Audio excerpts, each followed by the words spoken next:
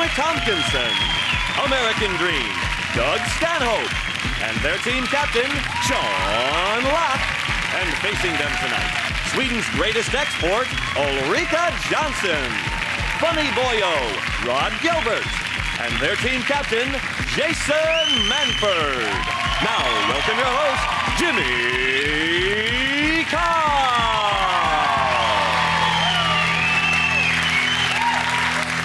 and welcome to 8 out of 10 Cats, a show about opinion polls, surveys and statistics. Did you know, for example, 1 in 10 Europeans is now conceived on an IKEA bed? And for similar reasons, I'm no longer welcome at the Croydon branch of DFS. 26% of New Yorkers have herpes. If you can catch it there, you can catch it anywhere. And 62% of people think that being single gives them the chance to be more spontaneous. I've got no plans tonight, so should I sob myself to sleep or comfort eat? Let's get started.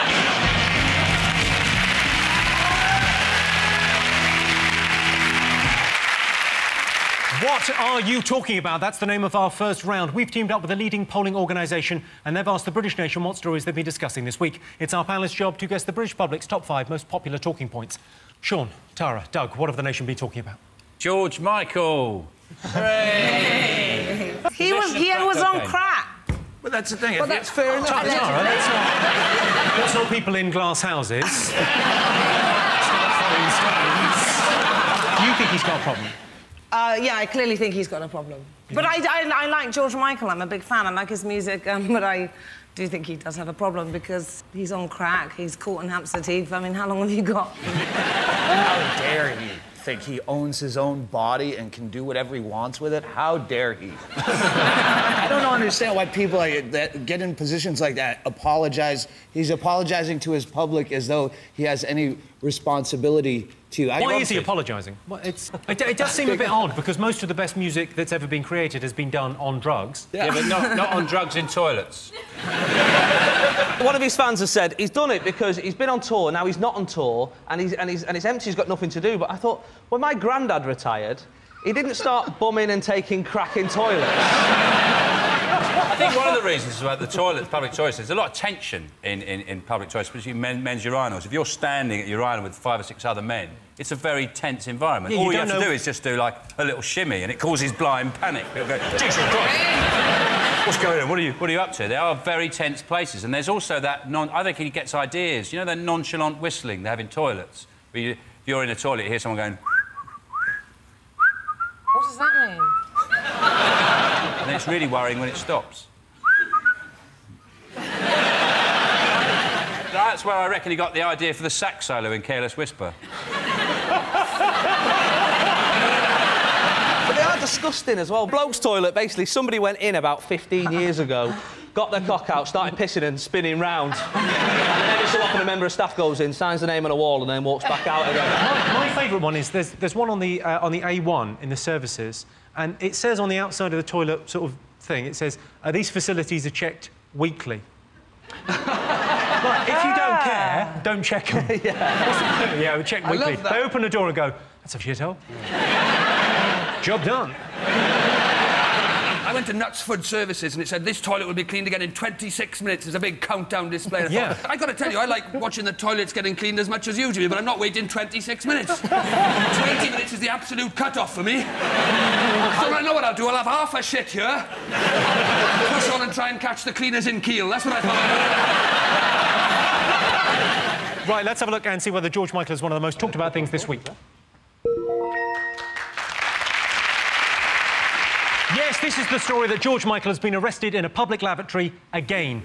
George Michael does practice safe sex. He keeps one foot up against the cubicle door.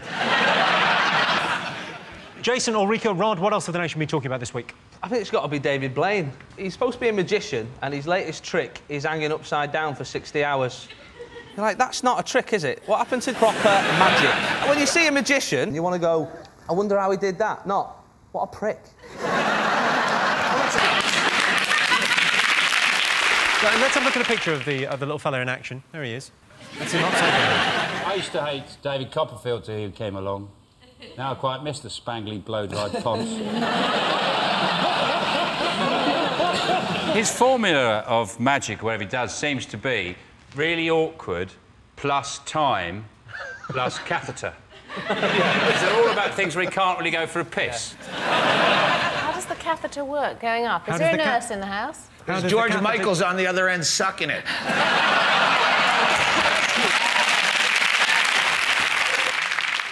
I met him once, actually. Oh, go on, what did you Yeah, think? and I, th- I really did believe he was magic in the beginning. And so then he said, Can I take your number? And I went, Well, that's fine. Um, he goes, I'll remember it, just give it to me. And I went, 0783. He goes, Can I just get borrow a pen? So he clearly is not magic at all. But that's what's annoying about his endurance tricks. They've got progressively worse and, and less impressive. The first one was good when he First stood up one, on. uh, You know, he sort of, so he's done that. He stood on a pole for a long time, right? He, was was in some long time. ice, right? He was in some ice. That was pretty impressive. And then gradually, you know, now he's like, Yeah. I'm hanging upside down for a couple of days, and every so often I'm going to have a bit of a rest.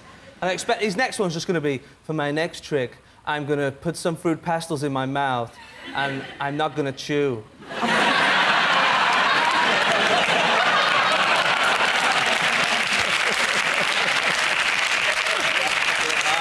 Jason, have you spent the first two minutes of the show writing with a biro? Well, let's have a look and see whether David Blaine is one of the most talked about things this week.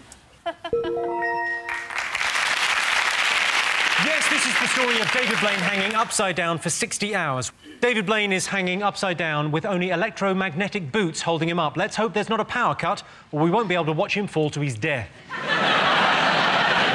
OK, Sean, back over to you. What else do you think the nation should be talking about? Golf. Golf. What about golf? Ryder Cup. Actually, Europe lost the Ryder Cup to America. I think the weird thing about it is the BBC say, uh, and the Ryder Cup is on Radio 5 Live. And you think, no, it's not. It's on Sky Sports, the Ryder Cup.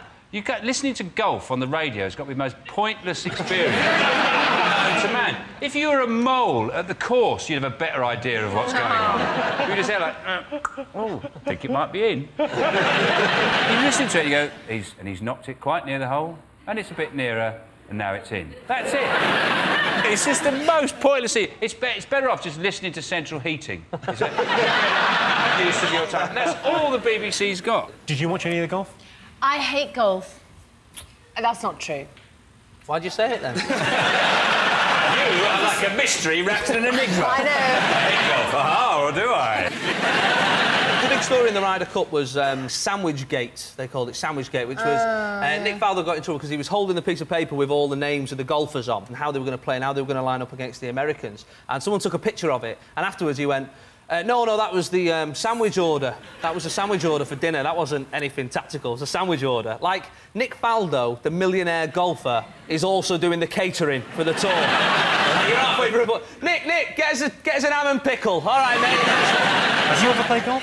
I have tried to play golf. You've tried to play it. Yeah, but I always break windows because I practice at home and it always. You always break windows. Yeah, you should practice outside. I think it's one of the key things. No, I play outside, but it, He has a big house. house. golf Jimmy. overhand? And, uh, the next one's in Wales, isn't it? Next uh, yes, it is. Yeah. Ryder Cup. Newport. Newport. Yeah. Yeah. Beautiful place. No.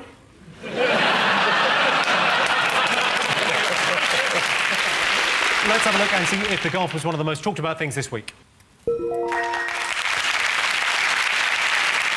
I don't know much about golf, Nick Faldo, but if you can't get your players to chip a ball through a windmill and into a clown's mouth, you don't deserve to win. OK, Jason, over to you. What else have the nation been talking about? Well, the front page of the papers were all about uh, Gordon Brown having a kiss off his wife, and, and all the headlines in all the papers were uh, "Kiss of Life." Kiss uh, of wife. Kiss of wife, of course. and uh, Stand by Your Man. That was another headline. Apart from the Daily Star, which uh, headline was Robbie Williams in gorilla suit. No, I thought it was quite interesting. It's incredibly well received, his, his speech today. And I thought there's a danger that Gordon Brown will think everything's going to be fine now, but I don't think that's the case. Because there's nothing that's going to save Gordon Brown. He, Yeah, I if he was assassinated, it wouldn't help him. It's kind of like. He kind could of like. walk in with, like, Bin Laden on a lead, barking like a dog. Too late, mate. Too late. You haven't done enough. Ulrika, do you, do you support Labour? Do you like Gordon Brown? He's like a bridesmaid who's really probably not meant to have ever been a bride. Hmm. If you're watching Spinsters, hi! I did But really the quite fancy got- him when I met him. I, you know, I did. Oh, did Oh, literally. I I will be know. going, oh. Yeah, but I did screw Svenja and Ericsson too, so that is slightly.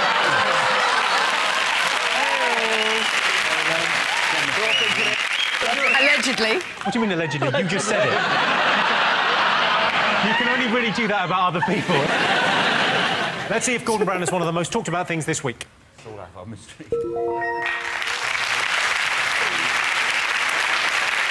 Yes, it was the Labour Party conference this week. To stabilise the economy, Brown promised tighter financial regulations. And so long as he manages to implement them, by April of last year, we'll all be fine. Ruth Kelly has resigned as Transport Secretary in order to spend more time with her family. It's bad news for Gordon Brown and terrible news for her family. OK, fingers on buzzers. One more thing to get. What else has the nation been talking about? Is it this thing about apparently one in 50 pound coins is a fake? And you can tell if they're frayed at the edges and uh, and it's not very good, you know, not very good quality. spin. Not very good. Sorry, what are you doing there? Scratch very good cards? quality. I'm not Very from good. the north, so I don't do the scratch cards. Yes, you are. they said you can tell that these uh, pound coins are false is because you can test them in vending machines, that reliable piece of equipment, a vending machine, right? And I thought, when I've done that, you have done that thing, haven't you, when you put a pound in for a can of Coke or something and it's come back out and you do, then the next bit you like give it a little, make it wet, like lick it a little bit and then put it back in, see if that works. And then I always do this last one where I try and take the vending machine by surprise. I'm with you. Where yeah. I just sort of hold it there just for a second and then just sort of go, is that Johnny Depp? The vending machine. I can tell you that fake pound coins was not one of the most talked about things this week. But yes, this is the story that there are 30 million fake one pound coins in circulation. You can tell they're fake because if you look really closely, the Queen is Helen Mirren. one more thing to get things on buzzers. Stonehenge. Stonehenge. Tara, I don't want to be niggly about the rules, but if someone else says it first, No, and then I you say it directly afterwards. You said it, Tara, though, like it was a trigger word for an assassin. so, Ulrika. They've been spending a long time trying to decipher what actually went on at Stonehenge, it- Stonehenge, and it turns out that it was um, a place of healing potentially. It's a bit like a sort of A and E department. You're right, they said it was a hospital because the, a lot of the people that they found buried there had died from things like illness.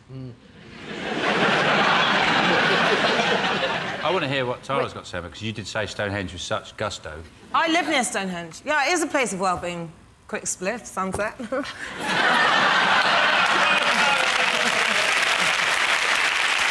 always thought it was quite cool. OK, let's have a look and see if Stonehenge is one of the most talked about things this week. This is the story that Stonehenge used to be an ancient hospital. We know this because some of the patients from then are still on the waiting list. you can find out more about this story by watching Time Team if there's absolutely nothing else on. OK, right, at the end of that round, I can tell you Sean's team have two points, Jason's team have three points. Our next round is called Pick of the Polls. Jason, you're to go first. What do you like the look of? We're going to go with the monkey. You've chosen the monkey. Yeah. 13% of men believe a monkey could what? Could talk. 13% of people believe a monkey could talk. Men, not people. Ulrika. Ulrika, we've all been hurt. You've got to move on. let it go. Let it go. Is it carry a piano upstairs?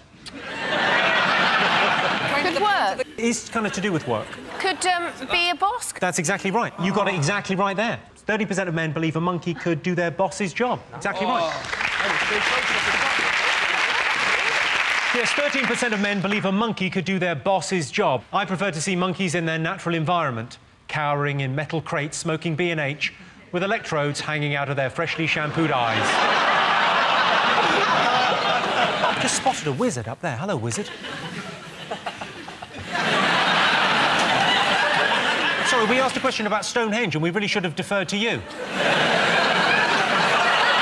I love the Harry Potter films. Well done. OK, Tara, Sean, Doug, what do you like the look of? Yeah, that one I should hammer all day. He wants to hammer Sarah Palin all day long. Do you? No, Oh. not in that way. I think she's gross. But you want to go... when they say that she's like really hot, and then you go, on what planet is she hot? Oh, she's hot for politics. She's hotter than John McCain. Okay, so you've chosen uh, Sarah Palin. America is gripped by an election campaign which could see its first ever female vice president. So we polled the studio audience and asked them, do you want to see Sarah Palin in the White House? What do you think they said? I think one of the really interesting things about her is that really all she's done is she's told a very good joke. She went out at the, uh, at the Republican thing and she did that joke. She said, What's the difference between a pit bull and a hockey mum? Lipstick. It's a good joke, and everyone goes, Oh, that's a really good joke. And the thing I liked about it is it reminded me of the time that I put lipstick on a pit bull. and he was already pretty angry about the suspenders and high heels. So...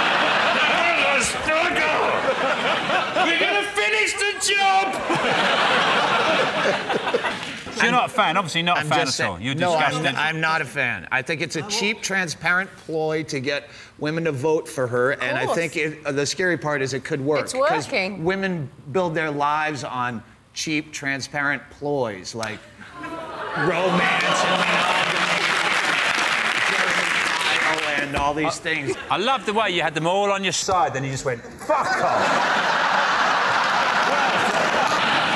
Let's get a guess over here. We asked our studio audience, do you want to see Sarah Palin in the White House? What do you think? This audience, no way. I can tell you you're absolutely right. The answer is no. 72% of our audience do not want to see Sarah Palin in the White House.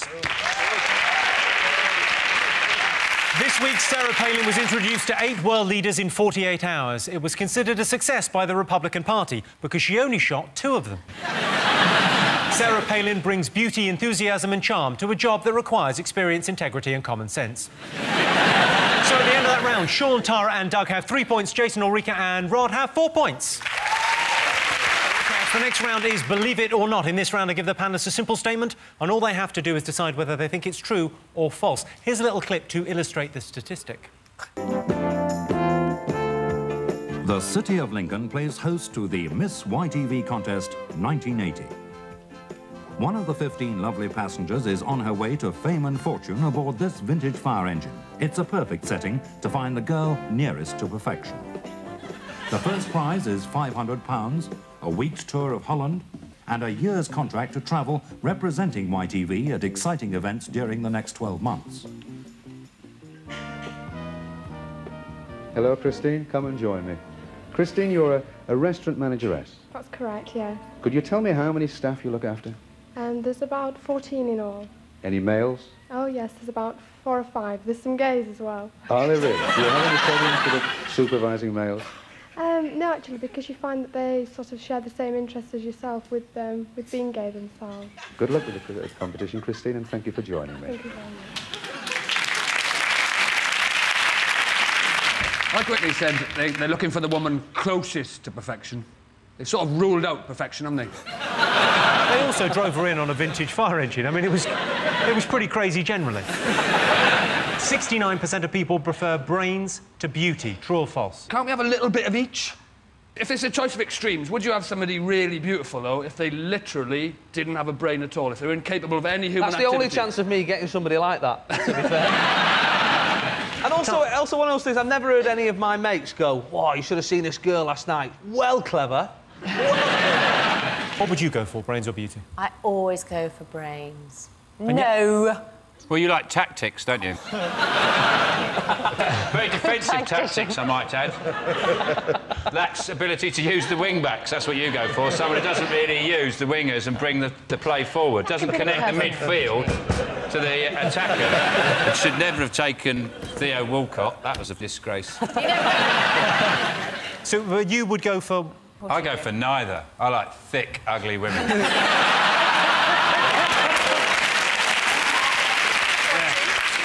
It's just a roller coaster ride. It'd be great if that was your taste. Depressing, disappointing, worthless, hollow, meaningless relationships. You can flick from. You can do 10 in a day and nothing, nothing affects you. You can never get enough. It's like crisps. Tara, you went out with James Blunt. What were you going for, brains or beauty or... Size. You're looking for a massive twat. so, 69% of people prefer brains to beauty. What do you think, Sean? False. I think it's true. I think it's I've been true. overruled. You think it's... OK, so your team thinks it's true? Yeah. OK, so you're going true. What are you guys going for? I'm going to go false then. So you're going false? Well, I can tell you the answer is true. Yay! 85% of people do prefer brains to beauty. The thing is, when you strip away the sexy clothes, the makeup, and the French cut panties, what are you left with? An erection. so at the end of that round, it's four points for Sean's team and four points for Jason's team. It is neck and neck as we go into our final round, which is, and the winner is, OK, Britain's least popular present. I bought my husband a, um, a Jimmy Carr live DVD. You bought your husband a Jimmy Carr live DVD. Thank you very much for the money. And he bought me one as well. He bought you one? Yeah. What? So you the bought two each of other? us. I know, isn't that weird? Jimmy, the question was least popular present. It was really going- unpopular. Can't believe my luck. What's the worst thing you've ever been given? Um, my is the day before Christmas, and my brother gave me a pack of three blank cassettes, one for my birthday and the other two for Christmas. A pack of three blank cassettes? Yeah. Here, you like music, put some on this. What about one of those adopt a donkey gifts that people do? It's just really annoying. They give it to a village in cha- Peru. yeah, And you exactly. think, I'd really like a donkey. I've got one. You can have one. I'll give it to you for Christmas, I Really? promise. I really will. Wow. I had, um, Yeah, I've got two. Where, where, yeah, where, one- where have you got your donkeys? At home. I promise you, you're going to get it. Do I get a donkey outside my house, or I've still If got you this want him, notion yeah. of a donkey somewhere? This these- might be. They might have shot Yeah. it years ago. Do you sponsor a child or a donkey or anything like that, get them to hold up a paper, today's Yeah. paper with it. Yeah, like a hostage situation. Yeah, I'm going to give it. He's called Charlie. He's called Charlie. He's literally a drugs mule. Yeah. I'm going to leave show business. I'm going to do I'm going to donkey give rides. it to you. probably not the least popular, but it's the worst thing I, I, or the most confusing thing I've had. My mother bought me a torch with the power of a million candles. Have you seen those? Because I've got, I had, I've got no notion of how bright a million candles is. Have you? I don't think in candles, to be honest. A hundred thousand's got to be enough for any domestic situation, hasn't it?